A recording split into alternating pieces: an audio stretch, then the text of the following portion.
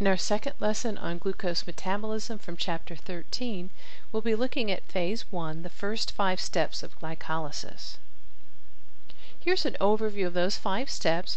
Remember our final product in the pathway will be pyruvate, and that's illustrated at the top of the screen here. Our goal in the first five steps is to take a molecule of glucose, remember that's a six-carbon compound, add a phosphoryl group to either end of the molecule, and split it in two. In step one, we add our first phosphoryl group. We're going to change the form in step two before we add that second phosphate in step three. Step four splits the molecule in two, and we have one more step to convert both products to glyceraldehyde 3-phosphate. So we start phase one with one molecule of glucose, and we end with two molecules of glyceraldehyde 3-phosphate.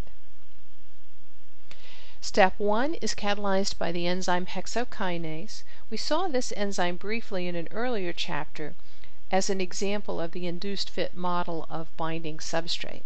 We also looked at the overall reaction as an example of a coupled reaction.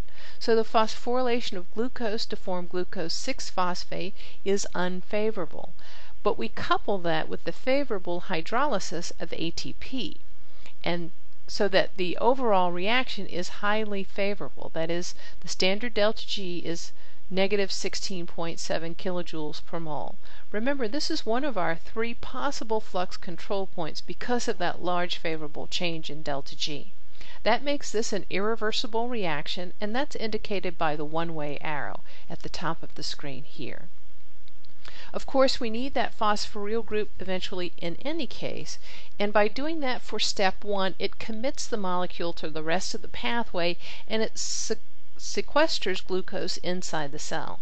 In other words, we have glucose transporters. If glucose concentration builds inside the cell, it will flow down its concentration gradient and out of the cell before we have a chance to use it. So by converting that to glucose 6-phosphate, we keep it inside the cell because we don't have glucose 6-phosphate transporters. And now we're ready for the next step in the pathway. That step is the isomerization of glucose 6-phosphate to form fructose 6-phosphate. All we've done is change the anomeric carbon in this step. The portion of the molecule that's changing is highlighted in red. So here we have glucose, the anomeric carbon is carbon number 1. We convert that to fructose, and therefore our anomeric carbon is now carbon number 2. The standard delta G is slightly unfavorable, but it's made slightly favorable inside the cell due to reactant concentrations. It also is a near equilibrium reaction, freely reversible, and that's indicated by the two-way arrow. We'll see when we get to step 4, we need a carbonyl at position number 2 in order to break the bonds between 3 and 4. In step 3, we're going to add our second phosphoryl group, and that's going to come from ATP again, so we convert fructose 6-phosphate to fructose 1,6-bisphosphate. That is catalyzed by the enzyme phosphofructokinase. We looked at this enzyme in an earlier chapter as an example of allosteric regulation, and we'll look at the regulation of this enzyme more particularly in a later video. Note that in steps 1 and step 3, it cost us a molecule of ATP each. That's the energy investment portion of this phase of the pathway, and we'll see in steps 6 through 10 how we recoup that investment. So this is a large favorable change in delta G and therefore an irreversible step indicated by the one-way arrow. This is the actual flux control point or rate determining reaction in the pathway. And we'll see why in a later video. We've added the second phosphate that we need so that both our products will have a phosphoryl group. And by adding the phosphates on either end of the molecule, it destabilizes the molecule overall and makes it more likely that we'll be able to split it into two. Now we had to convert this to a ketose before we added our second phosphate. In other words, we need the carbonyl at position number 2, but why couldn't we add the phosphate first and then form the carbonyl at position number 2? If we had done that, we would have started with glucose 6-phosphate, added the phosphoryl to position number 1, but that would have been the anomeric carbon, and it would have been impossible after that to open the ring or do any more chemistry. So we had to do the isomerization, create the anomeric carbon at position number 2 before we phosphorylated carbon number 1. Hopefully you can see the logic and the steps, and I'm hoping that will make it easier for you to remember the steps and to get a nice overview of the pathway. Step 4, we're going to cleave the molecule. It's a little bit easier to see in the Fischer projection. On the left, we have the Haworth projection of fructose 1,6-bisphosphate. And of course, because we have that anomeric carbon at position number 2, bound to an oxygen and an OH in the cyclic form, it can open up into the linear form, and that allows us to split the molecule between 3 and 4. We'll have two molecules, and they're highlighted in red and black. we will form glyceraldehyde 3-phosphate, an aldehyde, and an alcohol in the form of dihydroxyacetone phosphate when we split the molecule in two. This is essentially the reverse of an aldol condensation, and that's where the name of the enzyme comes from, aldolase.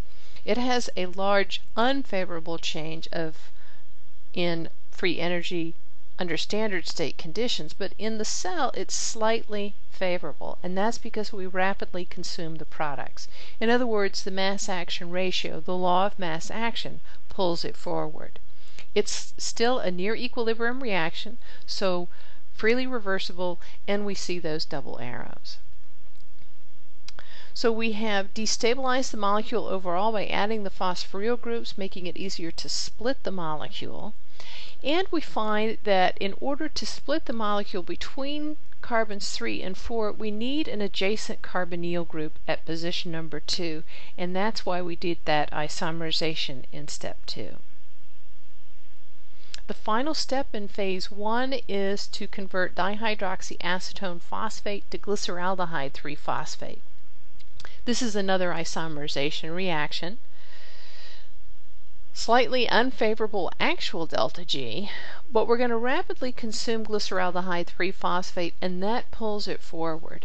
It makes sense to take the time to convert both molecules to glyceraldehyde 3-phosphate so that they are identical for the rest of the pathway. It simplifies the, react, the regulation of the pathway overall. If we didn't do that, we'd have to have five steps to, control, to convert glyceraldehyde 3-phosphate to pyruvate and a separate five steps and a separate five enzymes to convert dihydroxyacetone phosphate into pyruvate. So it makes sense to take one more step to make sure that both molecules are identical for the rest of the pathway. The enzyme that catalyzes that isomerization, triose phosphate isomerase, is a good example of a catalytically perfect enzyme. Remember, it operates at the diffusion controlled limit so that as soon as it finds substrate, it binds it and forms product. You can see the ribbon diagram here. On the left, it's unbound. On the right, we see the transition state analog in orange, and you can see the loop closure in green over that molecule. So there's definitely a conformational change that occurs in this enzyme. In our next video lesson, we'll see how in steps 6 through 10 we're going to recoup our original investment and gain a little bit more besides. And we'll look at that net product of glycolysis.